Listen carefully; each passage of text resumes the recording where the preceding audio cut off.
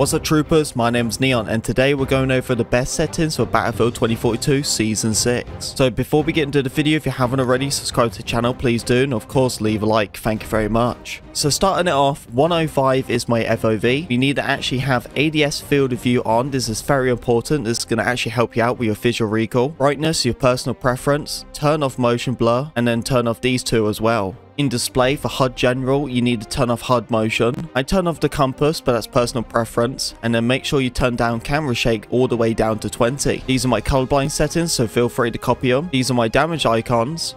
And these right here are my HUD scalings. Right here is my minimap settings, so feel free to copy these.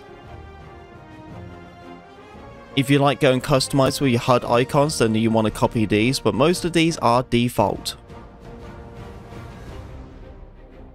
When it comes to my controller mapping, I use jump for L1, alt for L1, crouch for R3, and parachute L1. And here's all the juicy stuff. So my sensitivity is 80. I have uniform soldier aiming on, and we have the configurations 1 to 33. Soldier aim assist is 100, and the soldier aim input curve is the Battlefield 2042 and BF5, and acceleration is 25. Always use tactical sprint, and steady scope you want to have the same button as your aiming. Soldier zoom aim sensitivity is at 40, skip a revive is toggle, and here it is for the controller tuning. So we turn vibration off, leave the dead zone as default, but the triggers, you want to have these all the way down. The lowest they are, the quicker you can shoot. For accessibility, for general, you want to actually have this on, but it should already be on by default. And these two right here are very important when it comes to Zane. These are your visual effects and your sound effects. After a while, it's going to get quite overwhelming, so I just turned these completely off. And there you go, troopers. That is the best settings for Battlefield 2042. I hope you enjoyed the video, and I hope this helped you. If it did, don't forget to leave a like, comment, subscribe, be a part of Pink Army, and I'll see you troopers on the battlefield.